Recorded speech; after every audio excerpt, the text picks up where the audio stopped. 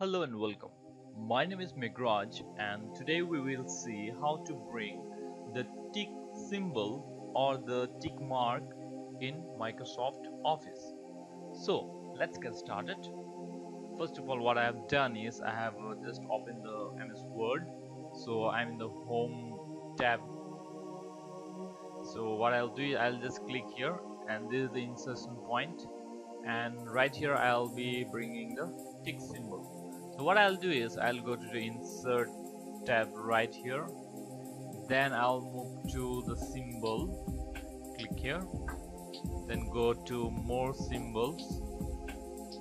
Here I'll select webdings scroll down and you'll see webding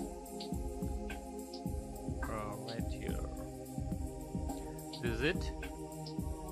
Here we have webding characters next to I'll just scroll this part to the end. Right here you can see the tick symbol.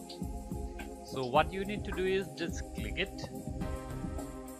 Or you can just select this or this and click on insert. You just keep in mind see wherever the insertion point is the tick symbol will appear there. So I'll just click on insert that's it. So in this way we can insert tick symbol in you may choose any other symbols from here right away and you can click on insert and it will be inserted so this is all in this video. I make videos on internet mobile and computer tips and tricks. So if you have not subscribed to my channel please do subscribe to my channel and do like this video and share it with your friends